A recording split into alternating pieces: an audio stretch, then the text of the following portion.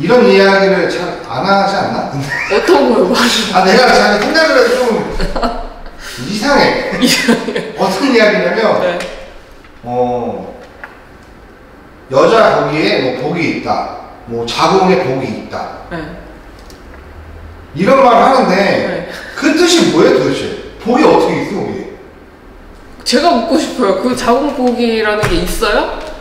아니 저도 영상 이게 어, 근데 점사를 보다가 유튜브 아니 유튜브 영상에서 네. 저도 이제 순간적으로 떠갖고 어느 선생님인지는 얘기 안 할 텐데 안할 건데 뭐 자궁에 복이 있다고 뭐 하는데 뭐 근데 저는 뭐 남녀간에 속궁합 뭐 이런 건 있다라고 해요. 근데 또 어느 분한테 보니까 사주 역학 그쪽으로 보시는 분한테 보니까 들어보니까 사주에 그 속궁합이 맞는 분들이 있대요. 그게 나온대요, 실제로. 그 사주 풀이로는. 근데 뭐 솔직히 제가 신점을 봤을 때 야 너 자궁복이 있어서 너 남자분 많겠다 뭐 이런 거는 솔직히 저는 얘기한 적이 없고요. 제가 거의 지금 8, 9년 차 이렇게 일을 하는데 저희 엄마도 그런 얘기도 안 하시고 주변 선생님들도 자궁복이라는 걸 얘기를 안 하시던데요. 그래서 아니 근데 손님 중에도 그런 게 있어요. 자궁에 복이 있, 있는 여자 뭐 이런 것도 물어보는 남자분들도 분명히 계시는데 저는 그래요. 그 자궁복을 내가 어떻게 알아요? 뭐 내가 산부인과 의사예요? 아니면 내가 잡았어요?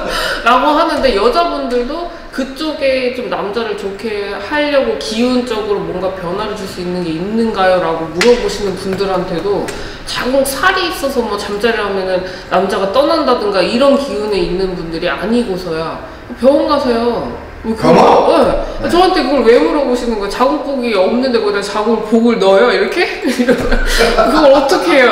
할 수 있으면 나도 하면 좋겠네요. 이랬거든요.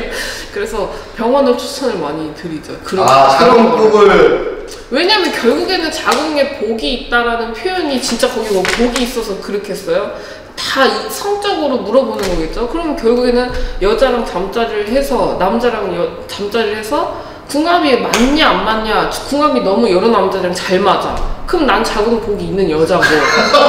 안 맞아. 그럼 자궁복이 없는 여자예요. 그럼 결국에는 그 가라. 어 그걸 만들기 위해서는 우리한테 어떻게 해달라고. 뭐 기운을 풀어서 뭐 안 되는 걸 어떻게 해갖고 막 쪼이게 해요? 안 되잖아. 그러니까 병원을 가서 시술을 받으세요. 그게 빠르다. 당연히 빠르죠. 그냥 차라리 뭐 이 남자랑 이 나랑 합의를 붙여주세요. 뭐 이런 거는 상관이 없는데 여기다가 뭐 복을 넣어주세요. 뭐 잠자리를 하면은 몸, 남자들이 못 헤어나게 해주세요. 이런 거는 우리한테 의뢰를 하지 마세요. 병원 가라. 병원 가세요. 산부인과. 성형 있잖아요 성형. 알겠습니다. 네.